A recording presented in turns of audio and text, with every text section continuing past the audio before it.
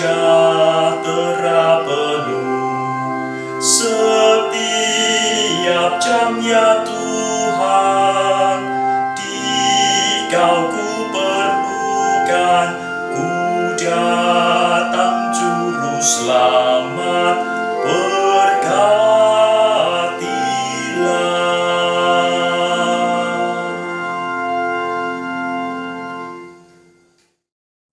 Selamat pagi jemaat Tuhan. Sebelum kita memulai karya kita hari ini, mari kita berdoa memohon bimbingan dari Roh Kudus. Bapa di surga, kami bersyukur atas segala berkat-Mu dan saat ini kami mohon pimpinan dari Roh Kudus agar menerangi pikiran kami, meneduhkan hati kami, mencerahkan akal budi kami, agar kami boleh membaca, merenungkan firman Tuhan, memahaminya, dan melakukannya.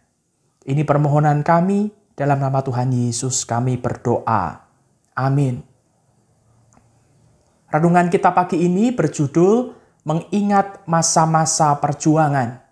Bacaan kita terambil dari kitab Ulangan pasal 8 ayat 2. Ingatlah kepada seluruh perjalanan yang kau lakukan atas kehendak Tuhan Allahmu di padang gurun selama 40 tahun ini dengan maksud merendahkan hatimu dan mencobai engkau untuk mengetahui apa yang ada dalam hatimu, yakni apakah engkau berpegang pada perintah-perintahnya atau tidak. Demikianlah sabda Tuhan. Syukur kepada Allah. Malam sebelum peringatan proklamasi kemerdekaan Republik Indonesia, tepatnya tanggal 16 Agustus, ada tradisi di tengah-tengah masyarakat yang sampai saat ini masih dilakukan. Masyarakat menyebutnya sebagai malam tirakatan. Acara malam tirakatan biasanya diisi dengan menyanyikan lagu kebangsaan dan beberapa lagu perjuangan, doa syukur, sambutan-sambutan, dan lain sebagainya. Saya masih ingat ketika waktu kecil mengikuti acara malam tirakatan, selalu ada sambutan dari sesepuh kampung. Karena di lingkungan tempat tinggal saya banyak warga yang lanjut usia, maka tiap tahun diberikan kesempatan kepada dua orang sesepuh kampung untuk menceritakan pengalaman di masa-masa awal kemerdekaan. Ketika para sesepuh menceritakan pengalaman hidup mereka di awal masa-masa kemerdekaan, maka semua hadirin tenang, mendengarkan, dan sambil membayangkan apa yang tengah disampaikan. Sambil mendengarkan, saya pun membayangkan keadaan yang diceritakan dan bersyukur karena keadaan sekarang jauh lebih baik. Dalam bacaan kita hari ini, penulis kitab Pulangan mengajak umat Israel mengenang perjalanan mereka selama 40 tahun di padang gurun yang penuh dengan perjuangan. Penulis kitab Pulangan melakukan hal itu untuk menyadarkan umat Israel bahwa perjalanan berat yang sudah ditempuh ternyata dapat dilalui. Dan itu semua terjadi atas penyertaan Tuhan. Walaupun terasa berat, tetapi dengan pertolongan Tuhan umat Israel dapat menjalaninya. Mengingat masa-masa sulit di waktu yang lampau, ternyata dapat menyadarkan kita bahwa hanya dengan pertolongan dari Tuhanlah kita mampu menghadapinya. Dengan mengingat masa-masa sulit di waktu yang lampau, kita memiliki semangat untuk menjalani hari depan yang juga penuh dengan tantangan.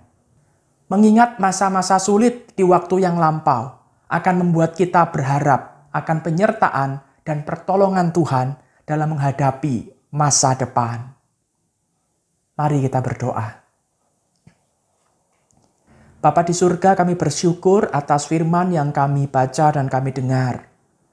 Ketika kami diajak untuk mengingat akan penyertaan Tuhan di dalam perjalanan kehidupan kami di waktu-waktu yang lampau, maka kami pun menjadi termenung, kami pun menjadi berdecak kagum. Betapa penyertaanmu itu nyata, sehingga masa lalu yang penuh dengan tantangan dapat kami hadapi. Dan ketika kami diajak untuk mengingat akan masa lalu, kami pun menjadi memiliki pengharapan bahwa Tuhan yang sudah menyertai kami di masa lalu, Tuhan juga yang akan menyertai menuntun setiap langkah kami di hari-hari ke depan. Mampukan kami agar kami boleh selalu ingat bahwa kami memiliki satu penolong, yaitu Engkau ya Allah, yang senantiasa setia menolong membimbing kami.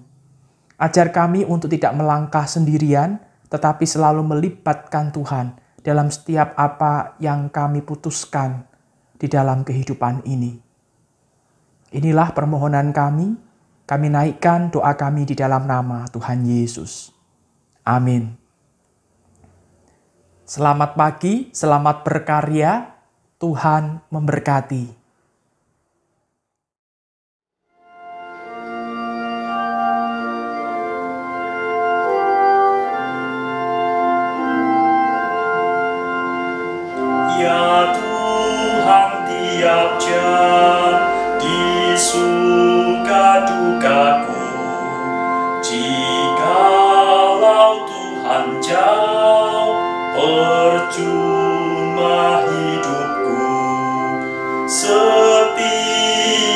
Setiap jam ya Tuhan